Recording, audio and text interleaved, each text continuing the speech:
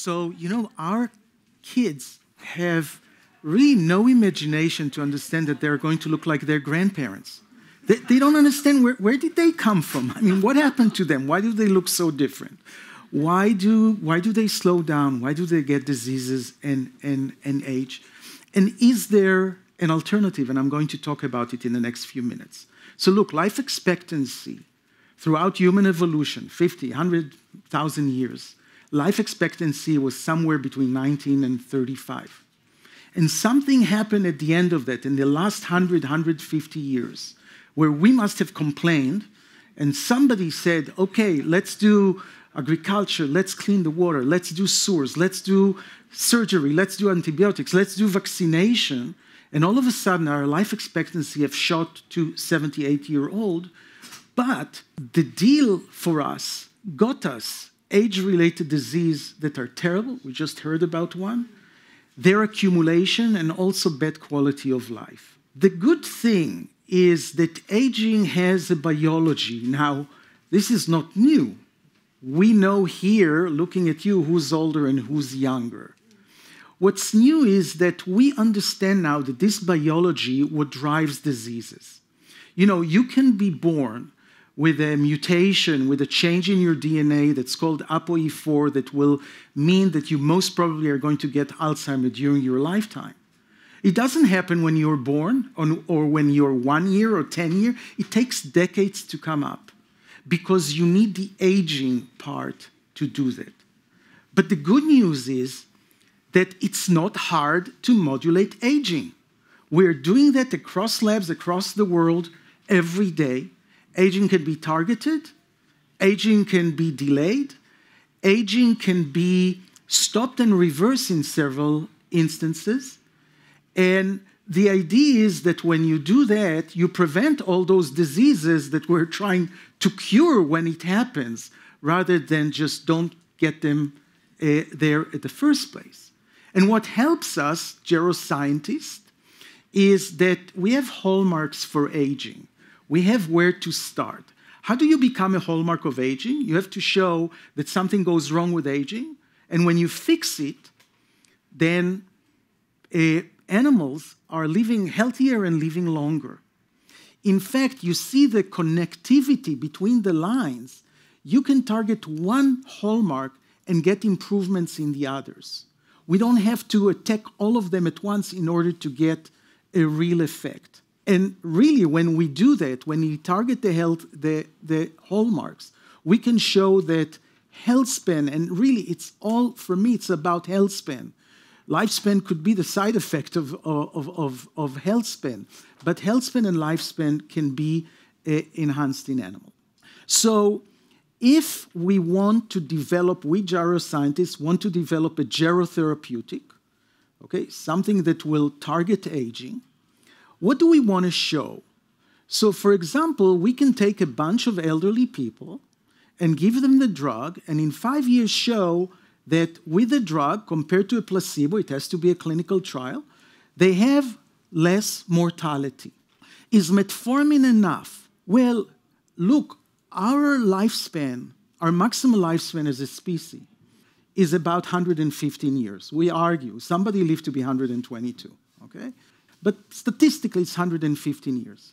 And we die on average at the age of 78. So there are 35 years more to realize. Okay, how do we do that? So I'll give you, a, so the question is do we have an example? Okay, is it possible for us to have extended health span and lifespan?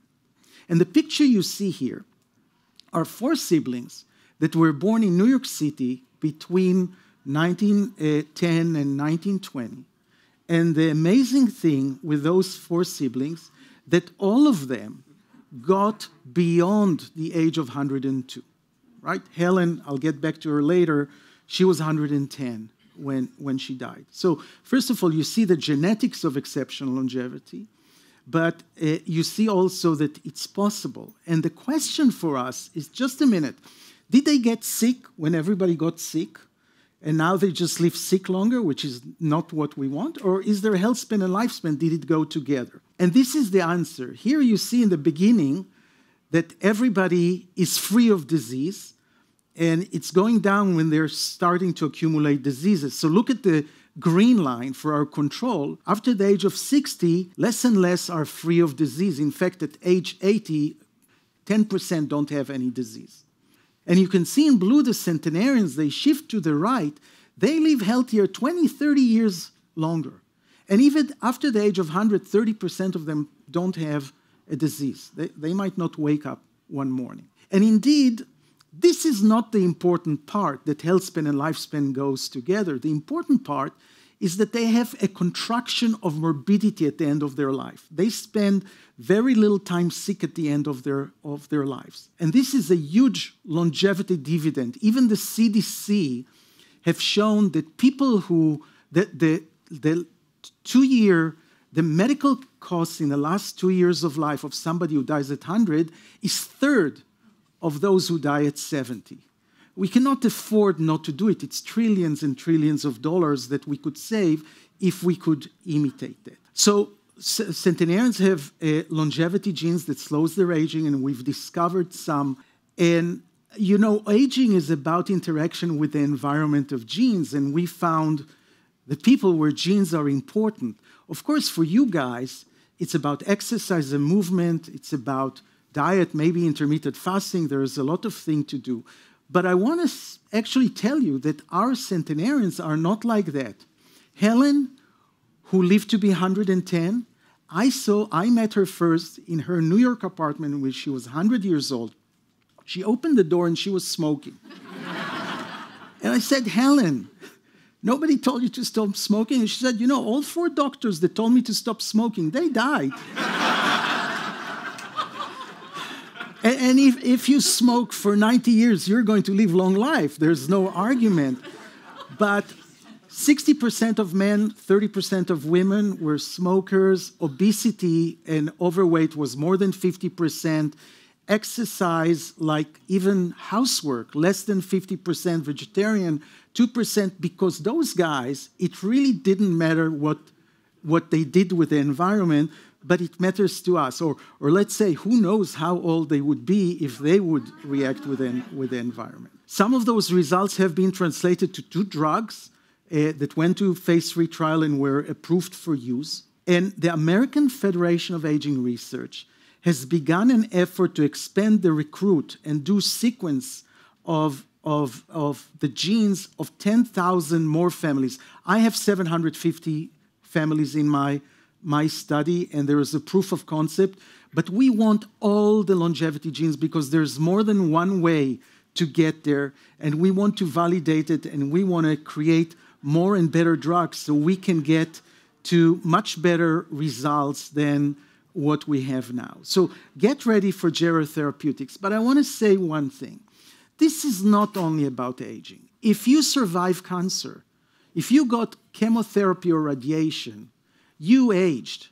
And people who survive cancer are having tremendous problems when they age. Even kids can get heart disease when they're 35 years old. So they need help. People with HIV get diseases 10 years before their cohort. They need help. People who are disabled and they cannot move or eat okay, they get into trouble. And you know what?